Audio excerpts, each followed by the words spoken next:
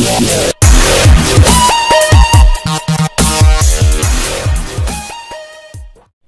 everyone welcome to my YouTube channel M K plus point आज की video lecture में हम आपको वाटर कंटेंट को निकालने के लिए अगला मेथड के बारे में बताएँगे। इससे पहले का जो वीडियो था, उसमें हम वाटर कंटेंट को निकालने के लिए एक मेथड के बारे में बताए थे, जो क्या था? ओवन ड्राइंग मेथड इस लेक्चर में हम अगला मेथड के बारे में बताएँगे, जो क्या है? Sand bath method. तो सैंड बाथ मेथड क्या है? इसके बारे में थोड़ा सा पहले हम नोट देखते हैं कि when we have no any oven, then this case sand bath method use. यहाँ क्या लिखा हुआ कि अगर जो हमारे पास कोई इलेक्ट्रिकल ओवेन नहीं रहेगा, तब हम क्या करेंगे? सैंड बाथ मेथड को यूज़ करेंगे। It is a field method या जो है एक फ़ील्ड मेथड है।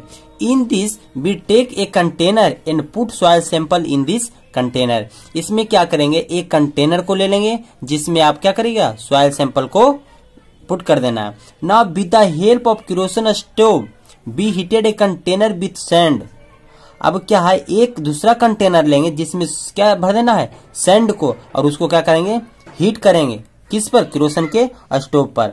And the soil container put on the sand उसके बाद क्या करना है? जब सैंड आपका गर्म हो जाएगा हीट हो जाएगा तो आपका जो सॉयल से भरा हुआ कंटेनर था, उसको सैंड के ऊपर रख देंगे। Due to inform heating of sand the moisture soil become dry अब चूँकि क्या है सैंड का एक प्रॉपर्टी है, जो क्या यूनिफॉर्मली हीटिंग होता है।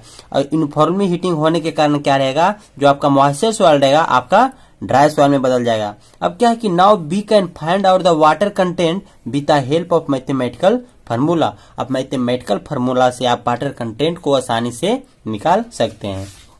तो इसमें देखिए क्या है, इसमें प्रोसीड्यूर क्या है प्रोसेस कि सबसे पहले हम क्रोसन स्टोव ले लेंगे, इसके ऊपर क्या रखेंगे? सैंड से भरा हुआ एक कंटेनर रखेंगे। अब ये हीट हो जाएगा, अब हीट होने के कारण फिर क्या है, इसके ऊपर हम रख देंगे सॉइल सैंपल विथ कंटेनर और चूँकि क्या ये यूनिफॉर्म हीट होता है यूनिफॉर्म हीट होने के कारण क्या है? इसको हीट करेगा। यहाँ से जब हीट होगा तो यहाँ पर से वाटर क्या? है इफेपो रेट हो जाएगा। उसके बाद मैथमेटिकल फार्मूला से आप आसानी से वाटर कंटेंट निकाल सकते हैं। तो देखिए क्या है। सबसे पहले मान लेते हैं कि वेट ऑफ़ कंटेनर सिर्फ़ जो कंटेनर था इम्फेटिक कंटेनर उसका वेट मान लिए डब्ल्यू वन है और दूसरा क्या है कि सॉइल सैंपल विथ कंटेनर अब उसमें सॉइल सैंपल को रखेंगे, जिसमें वाटर का मात्रा है मॉइस्चर सॉइल है तो उसमें क्या है कंटेनर को रखेंगे, उसके बाद उसका रीडिंग ले लेंगे कि कितना इसका बेट है तो मान लेते हैं डब्ल्यू टू अब बेट ऑफ़ ड्राई सॉइल और जब आप क्या करिएगा, जब मॉइस्चर सॉइल ड्राई सॉइल में जब चेंज हो जाता है तो इस कंटेनर को आप बेट कीजिए। अब मान लेते हैं कि weight of dry sample with container बराबर डब्ल्यू थ्री अब देखिए क्या है कि बेट ऑफ़ वाटर बराबर W two minus W three हो जाएगा। बेट ऑफ़ वाटर निकालना है तो डब्ल्यू टू में डब्ल्यू थ्री घटा देंगे तो यहाँ पर आपका क्या है? बेट ऑफ़ वाटर आ जाएगा। बेट ऑफ़ सॉलिड क्या हो जाएगा? W three minus W one ये डब्ल्यू थ्री है, ये डब्ल्यू वन है। तो W three minus W one तो आपका बेट ऑफ़ सॉलिड निकल जाएगा। अब चूँकि क्या है? आपका रिक्वायर्ड वाटर कंटेंट फार्मूला से डिफिनीशन से क्या होता है वाटर कंटेंट बराबर? Weight of water by weight of solid इसलिए बेट ऑफ़ बार्डर के जगह पर W two minus W three रख देंगे और बेट ऑफ़ सॉलिड के जगह पर W three minus W one रख देंगे। और इसको परसेंटेज में चूँकि हम लेते हैं तो इसको हंड्रेड से मल्टीप्लाई कर देंगे। कि नोट में थोड़ा सा ध्यान रखना है कि टाइम जो है, आपको इसमें एक से लेकर आधा घंटा तक आपको लगेगा। उसके बाद क्या है कि रफ वैल्यू ये जो है वैल्यू एक्यूरेट नहीं देगा। जैसा कि oven drying method exact value देता था वाटर कंटेंट का, वो ऐसा नहीं देगा, ये रफ वैल्यू देगा। कुछ ना कुछ थोड़ा सा इरर आएगा उसके बाद क्या है कि नोट यूज़ फॉर ऑर्गेनिक और जिप्सम सॉइल अब उस सॉइल जो सॉइल ऑर्गेनिक रहेगा या जिप्सन सॉइल रहेगा, उसके लिए मेथड सुटेबल नहीं है। क्यों? क्योंकि इसमें आपका जो हीट रहेगा टेम्परेचर रहेगा कंट्रोल नहीं हो पाएगा। और कंट्रोल नहीं हो पाएगा तो ड्यू टू ऑर्गेनिक मैटर आपका जो है मिट्टी आपका जलकर राख हो जाएगा। उसके बाद ये मेथड आपके लिए सुटेबल नहीं रहेगा। तो इसमें याद रखना है कि ये जो मेथड है, जहाँ पर हमको ओवेन पॉसिबल नहीं रहेगा, वहाँ पर हम क्रोसन स्टोव के हेल्प से इस मेथड को यूज़ कर सकते हैं। उसके बाद ध्यान इसमें क्या रखना है कि वैसा स्वाद जिप्सम स्वाद रहेगा, उसके लिए आप इस मेथड को यूज़ नहीं कर सकते हैं। इसके बाद अगला मेथड क्या है? अल्कोहल मेथड तो अल्कोहल मेथड में क्या है? इसके बारे में थोड़ा सा नोट देखते हैं। लिखा हो कि alcohol method is also a field method alcohol method भी जो है, एक फ़ील्ड मेथड है। In this method we use a chemical agent इस मेथड में एक केमिकल एजेंट को यूज़ करते हैं, जिसका नाम क्या है? Methylated spirit in this method the wet soil sample kept in an evaporating dish अब क्या है कि सॉइल सैंपल को एक इवेपोरेटिंग डिश होता है, उसमें सॉइल सैंपल को क्या करेंगे?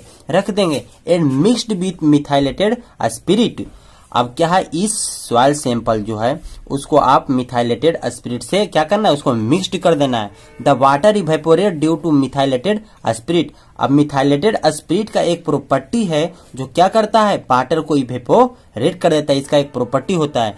The rate of evaporation in the soil becomes dry अब रेट ऑफ़ वेपोरेशन जब स्टार्ट होगा तो आपका मॉइस्चर सॉइल जो रहेगा, आपको ड्राई सॉइल में बदल जाएगा। Then we can find out the water content with the help of mathematical formula अब मैथमेटिकली फार्मूला से आप वाटर कंटेंट को आसानी से निकाल सकते हैं। तो यहाँ पर क्या है? जिस प्रकार से वो दोनों मेथड को यूज़ किए थे फार्मूला उसी प्रकार से यहाँ भी वही फार्मूला यूज़ करेंगे। वाटर कंटेंट बराबर क्या हो जाएगा? M two minus M three बटे M three minus M one M two hundred से मल्टीप्लाई कर देंगे। क्यों? क्योंकि इसको परसेंटेज में लाना है। अब देखते हैं क्या है M one M two M three क्या है। भेर क्या है? एम वन बराबर है मास ऑफ़ इम्पेटेड डिश अब जो इवेपोरेटिंग डिश लेंगे, सबसे पहले उसका हम वेट कर लेंगे और उसका रीडिंग को हम कहीं नोट कर लेंगे। उसके बाद क्या है? M two mass of dish plus moisture soil अब जो मॉइस्चर सॉइल हम इवेपोरेटिंग डिश में डालेंगे, उसके बाद डिश के साथ जो उसमें आपका मॉइस्चर सॉइल है और डिश है, दोनों को क्या करेंगे? उसको आप वेट रीडिंग कर लेना है। उसके बाद क्या M three mass of dish and dry soil और जब इवेपोरेट हो जाएगा, उसके बाद जो ड्राई सॉइल रहेगा, उसको क्या करेंगे? जो डिस में रखा रहेगा, उसको आप रीडिंग ले लीजिए, कितना वेट होता है। तो मान लीजिए कि उसका मास क्या है एम थ्री ठीक है, उसके बाद इस फार्मूला से के यूज़ से आप वाटर कंटेंट आसानी से निकाल सकते हैं। इसमें नोट याद रखना है कि अनकंट्रोल हीटिंग ड्रॉ बाई इस मेथड का एक ड्रॉबैक क्या है कि अनकंट्रोल हीटिंग इसमें आप हीटिंग को हीट को कंट्रोल नहीं कर सकते हैं। उसके बाद आगे क्या है कि not suitable for organic soil वैसा सॉइल जो ऑर्गेनिक सॉइल रहेगा, उसके लिए ये मेथड सुटेबल नहीं है। और जिप्सम कंटेनिंग सॉइल जिसमें जिप्सन की मात्रा रहेगा, उस सॉइल को भी आप इस मेथड से मॉइस्चर कंटेंट नहीं निकाल सकते हैं। Due to alcohol is an oxidising agent alcohol क्या है? एक ऑक्सीडाइजिंग एजेंट है। ऑक्सीडाइजिंग करने के मतलब इसका जो हीटिंग क्या है? जल्दी सुख, जला देगा। इसका जो टेम्परेचर ज़्यादा होता है और ज़्यादा टेम्परेचर होने के कारण क्या होगा? आपका जो मिट्टी रहेगा, जलकर राख हो जाएगा और आप जो है इस मेथड को यूज़ नहीं कर पाएगा। उसके आगे क्या है? Calcium carbide method calcium carbide का फॉर्मूला होता है C S C two method में क्या करना है कि in this method we take six gram of wet soil sample is placed in air tight container called moisture tester moisture tester एक container होता है, उसमें आप क्या करेगा बेड सॉइल जो वाटर से प्रजेंट हो, जिसमें वाटर प्रजेंट हो सिक्स ग्राम लेकर उस कंटेनर में क्या करेंगे? डाल देंगे। And mixed with C S C two powder अब उस सॉइल को क्या करेंगे? C S C two powder के साथ मिक्सड कर देंगे। Then it react with water and produced acetylene gas अब क्या है ये सी एस टू जो है वाटर के साथ रिएक्ट करके आपको क्या एसिटिलीन गैस प्रोड्यूस करेगा? भी चीज़ measured with the help of meter present on container जिसको आप मीटर की हेल्प से माप सकते हैं वो मीटर कंटेनर के ऊपर प्रेजेंट रहता है। As the reading of meter increasing we can see that high water present अगर जो क्या करेंगे, जब मीटर में देख लें कि उसका रीडिंग बढ़ रहा है तो हम कह सकते हैं कि उसमें वाटर प्रेजेंट ज़्यादा है। अब क्या in this we found W dash so from formula अब इस मेथड में आप डायरेक्टली डब्ल्यू नहीं निकाल सकते हैं। आपको डब्ल्यू डैश का मान निकलेगा उस मीटर के हेल्प से। अब डब्ल्यू डैश आप अगर जो निकाल लेते हैं, वहाँ से मिल जाता है तो डब्ल्यू और डब्ल्यू डैश में आपको एक रिलेशन बताए थे तो डब्ल्यू बराबर हो जाएगा क्या? डब्ल्यू डैश बटे वन माइनस डब्ल्यू डैश इसमें आज रखना क्या है कि वेरी क्यूक मेथड ये जो मेथड है वेरी क्यूक मेथड है, बहुत जल्द हो जाता है। टाइम पाँच से दस मिनट लेगा और आपका इस मेथड से आप वाटर कंटेंट आसानी से निकाल सकते हैं। उसके आगे क्या है? रिमेम्बर रिलेशन बिटवीन डब्ल्यू और डब्ल्यू डैश इस मेथड में आपको क्या है? Relationship between W and W dash याद रखना है। क्योंकि डब्ल्यू डब्ल्यू डैश याद नहीं रहेगा तो आपको तो यहाँ डब्ल्यू डैश का मान निकल पाएगा। तो डब्ल्यू डैश का मान निकल पाएगा तो डब्ल्यू डब्ल्यू में नहीं अगर जो रिलेशन रहता है तो आप नहीं निकल पाए। इसलिए इस मेथड में आपको इम्पोर्टेंट डब्ल्यू डब्ल्यू डैश के बीच रिलेशनशिप मालूम रखना। अगर जो ऐसा रिलेशनशिप आपको मालूम रहता है तो आप वाटर कंटेंट को इस मेथड से आसानी से निकाल सकते हैं।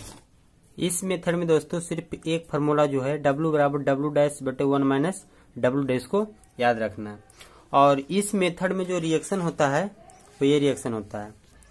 क्या है कि सॉइल में आपका जो वाटर प्रेजेंट रहेगा एच टू ओ वो calcium carbide C S C two के साथ जब रिएक्ट करेगा तो सी टू एच टू जो एसिटिलीन गैस कहलाता है, ये आपको वहाँ से प्रोड्यूस्ड होगा और सी एच टू बनेगा। ठीक है, इसमें टाइम जो लगता है, पाँच से सात मिनट लगता है। इसका मतलब क्या है? ये भी एक क्यूक मेथड है। ठीक है दोस्तों, आज का लेक्चर यहीं तक।